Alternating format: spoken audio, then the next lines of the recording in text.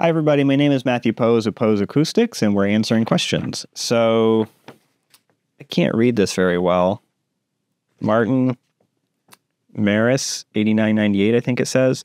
And I apologize that I can't read it well. It just didn't print well. Like really, really, really faint. So thanks for your Q&A videos. Your answer to my question is greatly appreciated. Our HT is in the family room, which is open to the foyer, kitchen, dining room, bathroom, and hallway. And then it goes on to basically talk about the axial standing calculators. Um, are they good enough to actually estimate standing uh, modes, uh, room modes in, in this room with all this being true? And if you do it, do you just put in the dimensions of the theater space or do you put in the whole thing, including all the space it's open to? And the answer is you would put in just the dimensions of the room itself that you're concerned with, but no, it's not accurate, and no, it's not going to give you an accurate estimate of the standing waves of that room, not just because it's open, but because these tend not to be particularly accurate in the first place. So, for lots and lots of reasons, standing wave calculators are very crude, and I'm not saying you shouldn't use them. They're worth looking at, and and it's fun to compare. But I think most people who've done this have probably found that some line up and many do not. And the more a room strays from a standard solid cuboid space, meaning like a shoebox room, the more it tends to be wrong. So with modern open construction, and especially American construction, so it, in Europe, in Eastern Europe, in certain Asian areas, not all, concrete is a dominant construction uh, material and the interior walls are too. So what happens is they build like in Florida, we build homes out of concrete all the time because it withstands hurricanes. But the entire inner shell and all the inner rooms and partition walls are wood. In Europe, that's not really true. It's much more common to build the whole thing out of concrete and all the inner walls are concrete as well.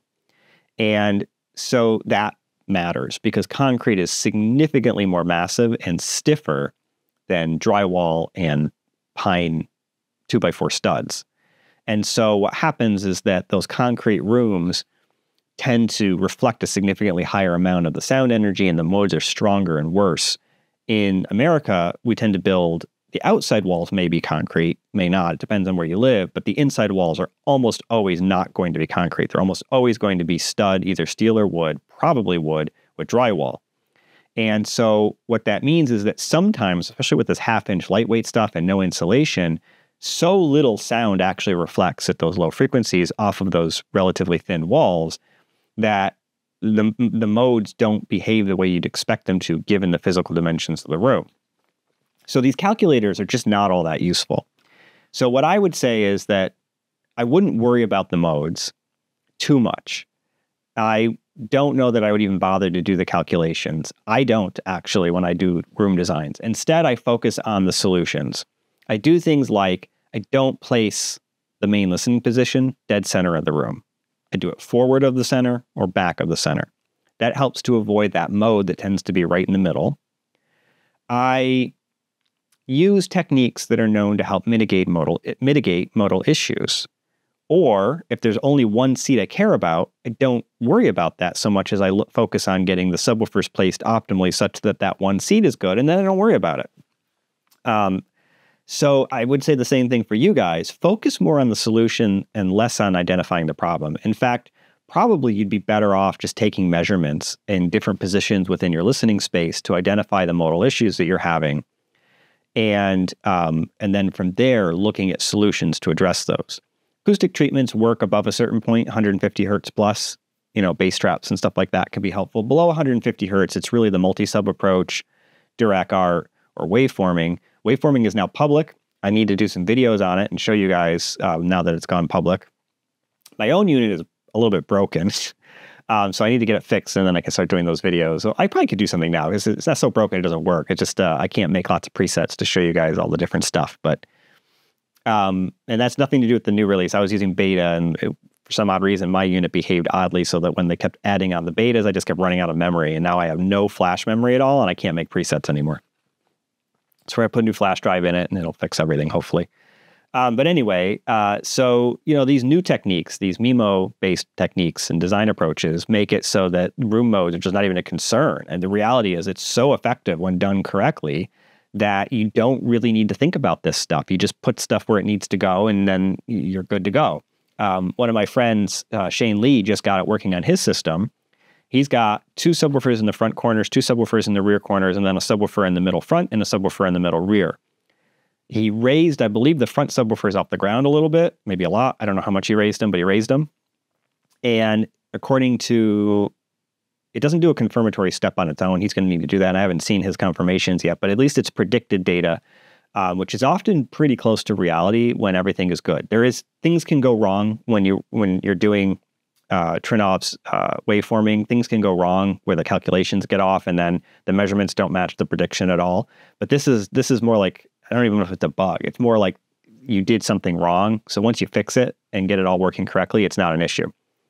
So um, in any case, with with his system, those are not proper speaker positions. Keep in mind, it went from like a plus or minus, I think it was almost six dB variance around the room to plus or minus less than 2 dB, which is extremely good. So he doesn't even have it in the right locations, and he's already getting CDL level 4 bass consistency from waveforming. Like it's just, we're talking game changer performance improvements from this. Um, and I think people are going to be very impressed. I'm actually impressed. I haven't heard his system, so sometimes it measures really well. Waveforming can measure really well and not sound good. And again, this comes from some of those issues I was talking about. You do have to, the closer you hold to what they tell you to do, the better the end result ends up being. And so sometimes things will look good, but not sound good for various reasons that the system can't really predict. Like you could set up a system that would measure very well where you use, just as an example, like 24 inch subs and you had like, I don't know, two 24 inch subs and then two 10 inch subs in the front, and you had like two 10 inch subs in the rear. That would probably measure really well if you did it right. Um, the problem you would run into is you'd be overloading those 10 inch subs because of the 24s or underutilizing the 24s. The more likely thing, because it doesn't know that there's such a huge difference in output, it knows that there's a bandwidth difference, but it doesn't know there's a difference in output, um, is it would overload the 10s. And so you'd be pushing hard with some movie content and probably start hearing some distortion. So there are things people could do that are wrong um, the closer you hold to the standard approach that you're supposed to use, the better the results tend to be, both in terms of measurement and sound. But it's game changer in terms of like these modal issues, and it just makes. I mean, Anthony Grimani and I have talked about this a lot. We already had gotten to a point where these design approaches made it so that calculating this wasn't that important anymore. Now these new technologies are going above and beyond that. So, anyway, thanks for the question. I appreciate it, and I hope this was helpful. Uh, subscribe to the channel if you haven't. Um, comment. These comments are actually helpful, and the donations are great. Really appreciate it. So thanks again. Got more coming.